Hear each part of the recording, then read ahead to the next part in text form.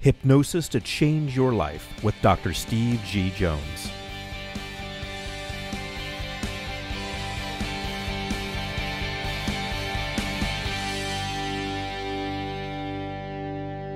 Okay, so the question is can a shock induction be helpful in treating mental illness?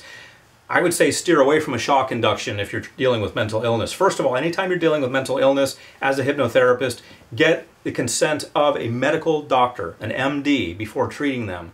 The last thing you want is to have someone have their psyche unravel in your office and, and you're liable for that and you've got a big mess in your hands. So you want to get a signed consent from a medical doctor. Secondly, you do not want to shock mentally disabled or mentally disturbed people. A shock induction means that if you walk up to someone, and you can do this with street hypnosis, you walk up to someone and you, uh, you pull on their arm, for example, and you say, sleep.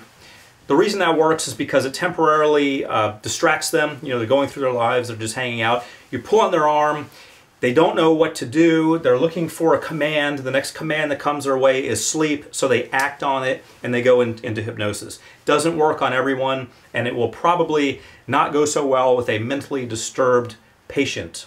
They may do have a little technique for you after that. So you don't, you don't want to uh, you don't want to get into that. Treat treat things uh, in a very calm way with uh, mentally uh, mentally impaired or mentally disturbed people who you who are diagnosed that way, or even who you suspect that way. In fact, I, I refer out uh, uh, mentally disturbed or impaired people when I suspect it.